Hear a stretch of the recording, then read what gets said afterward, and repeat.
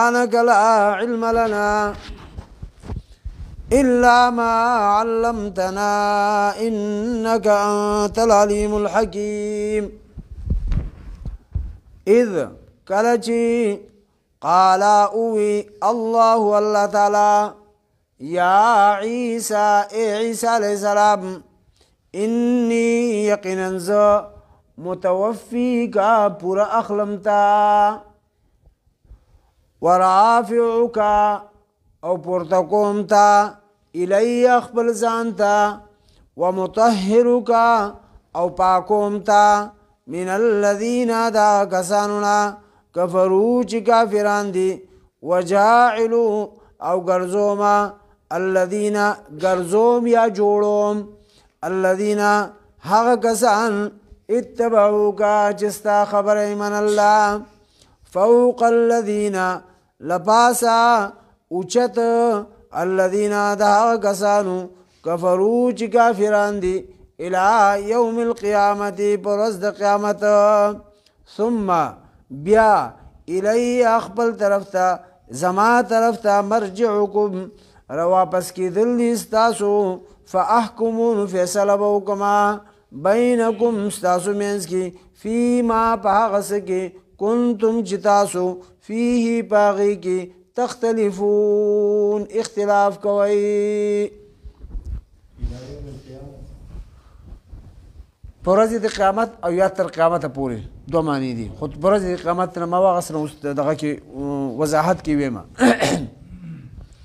دا آیت د هغه آیاتونو نه دی دا دې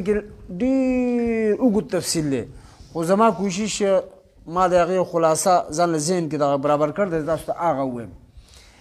دې آیت کې اصل کې خبره دا ده چې دې آیت کې د الله الله تبارک وتعالی د عیسی علی السلام خبره کوي او زمونږ څومره علما چې دي دې آیاتنا یو شبهه پیدا شي د شک پیدا شي دی هغه شک د وجنه بعضی خلق ویل د توجه به ماته دا به ان شاء الله اهم خبره به او الله دې موږ تاسو ټول په پوهه کې دا به تاسو له فائدہ راکړي یو شک دینه پیدا شې دی هغه شک منی بعضی خلق ویلی چې عیسی علیه السلام وفات شې دی ٹھیک شو او هغه کې امام بخاری رحمت الله علیه یو روایت راغسته دی کوم چې کتاب قران پسې دیم نمبر 3 کتاب څه دی بخاری شریف بیا زمونږ په دې موجوده دور کې قادیانیان مرزایان فکرانو یو تنظیم دی هغه او جماعت اسلامي والا پکې انکار نه دی کړی خو جماعت اسلامي والا ویلي دلایل لږ کمزوري دي ټیک شو دا ویل دي دین علاوه نور څومره خلق چې دی هغه عیسی علیه صلوات و سلام ژوند دی څه شي دی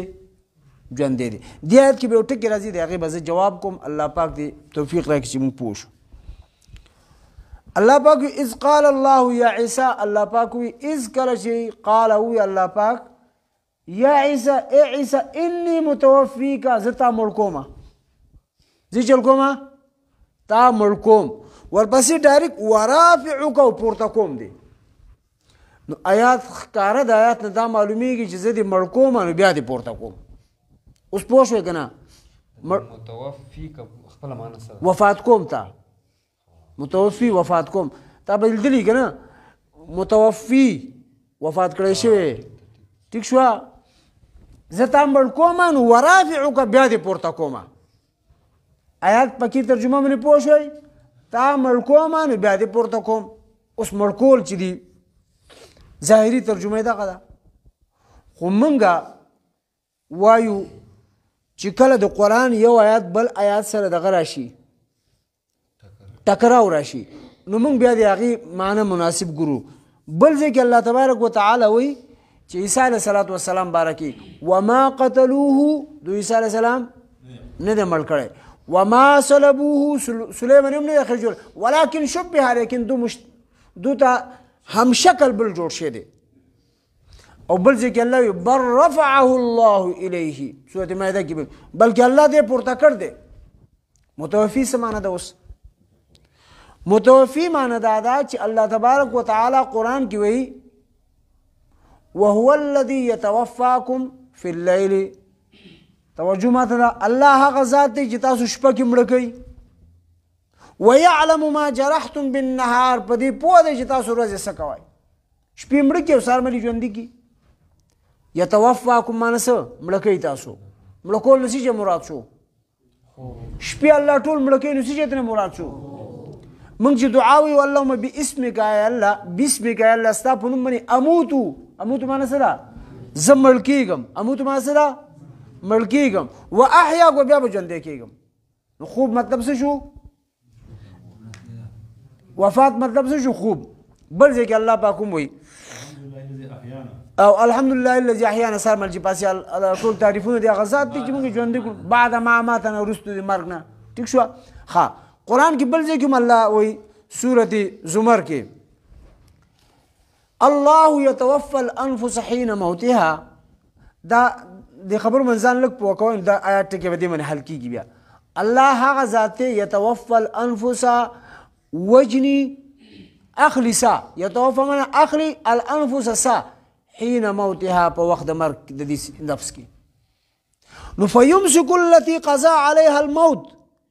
کوم خلق چې وده شي الله دې نسا واخلي نو فیمسک التي قضا عليها الموت چې کوم سړي باندې فیصله شي دا چې دې بنن شپې مړ کیږي نو یمسک باندې دغه روح ایثار کی فیمسک باندې روح ایثار کی سار مل چې ته پاسه روح ایثار شه د سړی لرګي پروت مړ دی خو یرسل الاخرى نور کوم روحونه چې خلق نه وجنو ويرسل هغه آزاد کی پری دي وخوره الی اجل مسمى بیا ژوندې کې سار بیا پاسي ځان له خپل کار مار شروع کی مطلب منی پوه شئ الله په خوب کې چل کی روح اخلي ای متوفی کدا معنی دا چې الله تبارک وتعالى خا تفاسیر بیا دا خبروم لیکل چې الله تبارک وتعالى عیسی علیه الصلاۃ والسلام او د کجو چته ک نو متوفی نه مراد څه دی او د کوله به اوچتول پوه شئ اوچته ک ورافی او کا اوچته یو خبر خدا شو دویمه خبره دا ده په دې کې چې الله تبارک وتعالى وایي چې اذ قال الله يا عيسى اي عيسى متوفيك زبتا ملکوما زبتا ملکوما دې ته موږ مستقبل صيغه آني والا زمانہ راتلونکي زمانہ نو دا خو حقیقت ته موسی عیسی السلام په ملک کېږي لیکن ملکوم به یو رستو هو رافعوک الی وست پورته کوم دی وسه انډرسټاند کنه مړ کوم دی رستو خو پورته کوم دی وسه نو بیا خبره بالکل برابر بشي برابر بشي کنه نور دي ډېر تفصيلات دي هغه تاسو ته خو تاسو صرف دې ټکی مې په وکول چې متوفي کا یو دا مطلب ده مطلب دی چې عیسی علیه السلام الله اوچت کړ دی پوره پوره پوره پرون وفات مانه خوب هم دی ایا متوفی که زه به تا مړ کوم په خپل وخت مقرر منی او مړ کیږي ټیم مقرر منی او مړ کیږي خو رافع او کپورته کوم دی الی یو ځان ته پوره خبره چې نه مطلب دا چې باډي وسره روح مال او ټول نور خو کوم انسانان چې پورته کوي نو هغه خو صرف روح روح مراد دی باډي خو پاتې کیږي عام خلک خو صرف روح شتي کنه خو پوره چې زمانه کوم پوره پورته کوم یعنی جسم سره د روح نه خو متطهرک تا پورته کوم او متطهرک او پاکون کېم ستا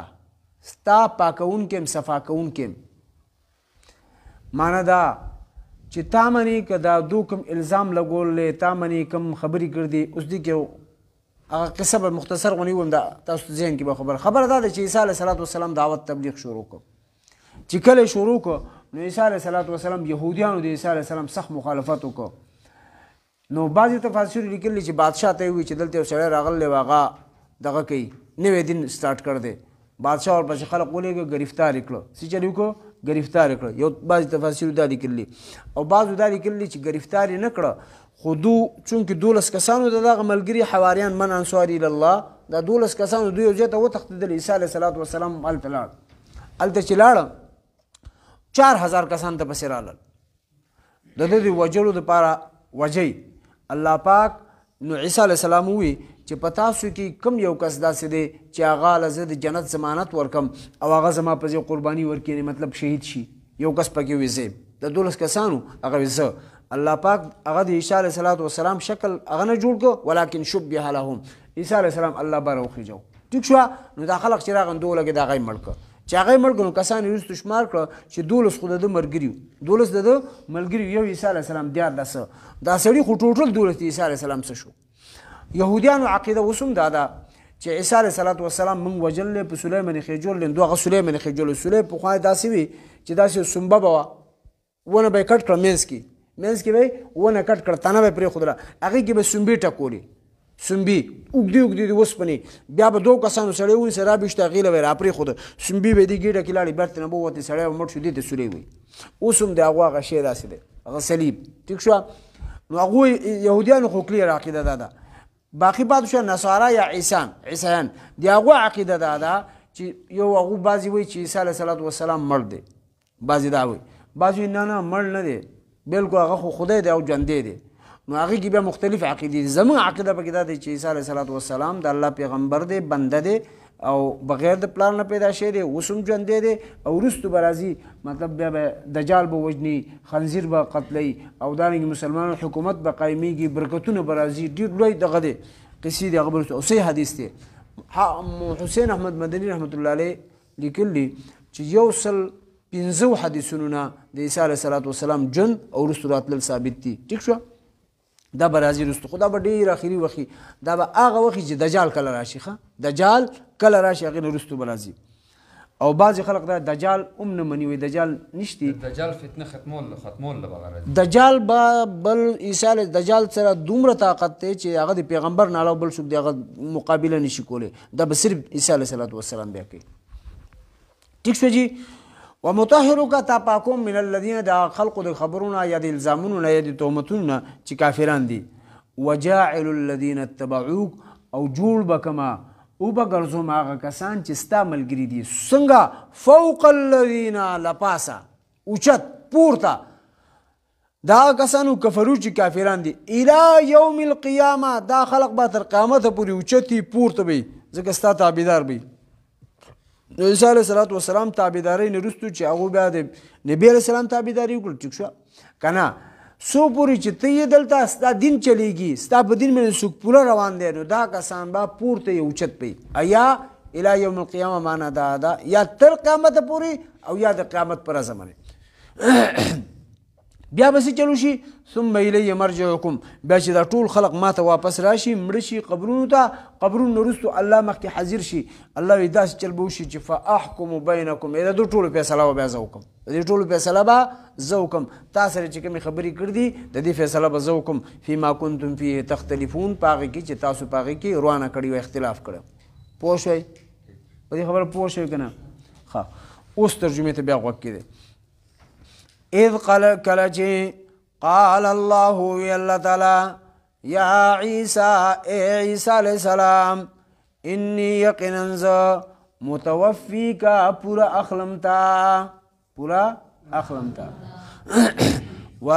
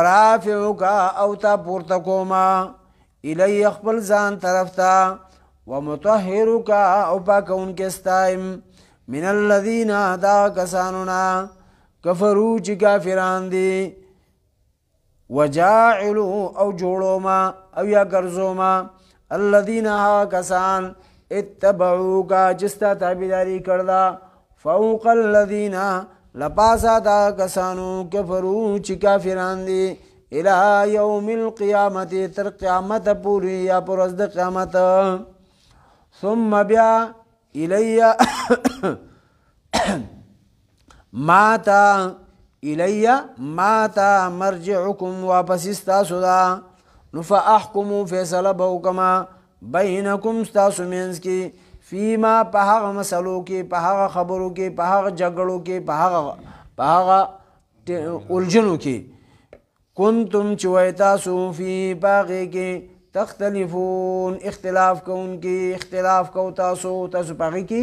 اختلاف کو بیا وما اذ کله چې قال الله او الله تعالی یا عیسی عیسی علیہ السلام انی یقینا ز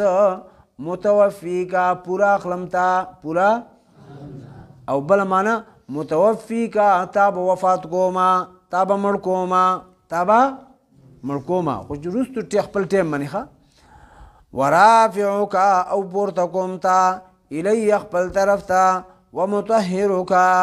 او دارنګي پاکوم تا اے درافعک دی کې خبر بلو دا پیغمبران خو یې سوازي 1 1 لاک 24000 کم بیش راغلي کنه ټول مړ دي کنه فرض کې عیسی علی السلام مړ دي ټول مړ دي نو یو پیغمبر بارک الله دان دی ویلي چې یا محمد تاسو پورته کومه اے موسی تا پورته کوم اے نوح علی السلام تا پورته یو عیسی علی السلام بارک تا پورته کوم اوس پوه شو یو نقطه پکې داوم ده خدا مې تا دې پاره وي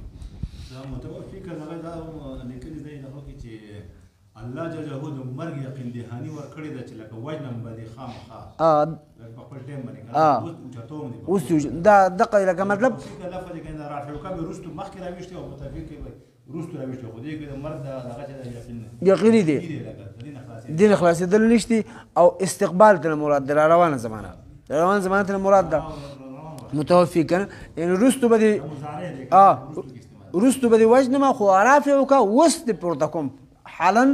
موجوده وخت کې دې پورته کوم ښه ومطهرک او پاکوم تا من الذین دا کسان لا کفرو چې کافران دي وجاعلو او جوړو ما جوړول معنی کوم ګرځول ګرځو ما الذین کسان اتبعوک جستا خبره من الله فوق الذين لپاسه دا کسانو کفرو چې کافران دي فوق لپاسه ته ویل کیږي اوچت برا لپاسه دا کسانو کفرو چې کافران دي مان دا ستا ملګری با په کافرانو لپاسه کوم اوچت بکما الى يوم القيامه تر قیامت پوری بدا حق دا خبره جاری روانه دا طریقه او قانون ثم بیا الی خپل طرف ته زما طرف ته مرجع حکم واپسی د ستاسو فاحکمو فیصله به وکما بینکم ستاسو مینس کی فیما پا خبرو کی کنتم چې تاسو وی فی پاغي کی تختلفون اختلاف کوو اذ کله چې قال وی الله الله تعالی